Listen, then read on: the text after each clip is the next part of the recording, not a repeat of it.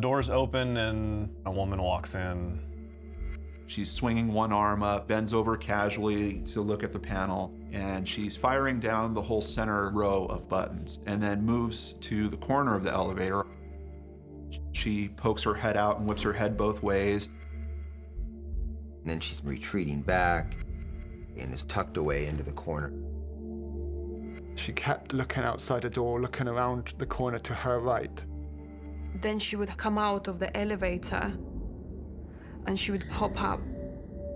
She's making these strange steps in almost this square dance motion, stepping back and forth in the door.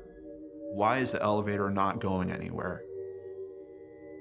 Is someone pressing a button and keeping the elevator here?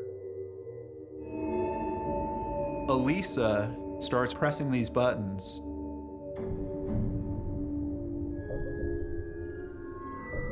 She was running her fingers through her hair a little bit. She's waving her hands. It's like she's conjuring a spirit or, or, or like acting something out to someone. She exits to the left of the elevator, and then all of a sudden she's gone. You think, okay, that's going to be the end of it. But you're just looking at an empty elevator. What the hell's going on here? You know, one strange thing is that the whole time Elisa is in there, the door never shuts. And now it shuts very quickly.